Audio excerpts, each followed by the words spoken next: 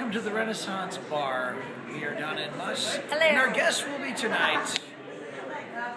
We don't have any guests. We have no guests tonight, but we are going out and we're going to have some fun. We're on our way to this really cool songwriter series that CMA puts on, and we're going to have some of the songwriters who write some of the biggest hits that you hear on K102, including stuff from Jason Aldean, to give you an example, Eric Church, and what, what are you doing? Where are you going? Also, Uh, we have collected our awards, Yes. and um, Uh. we could not be happier.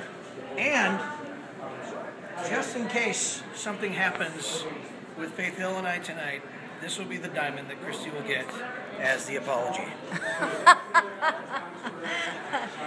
Me and Kobe, baby. Me and Kobe. Look at that. It's already a ring right there. We'll check back with you and let you know how everything goes. I don't think that.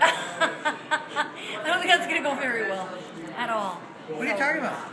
You are a dumbass.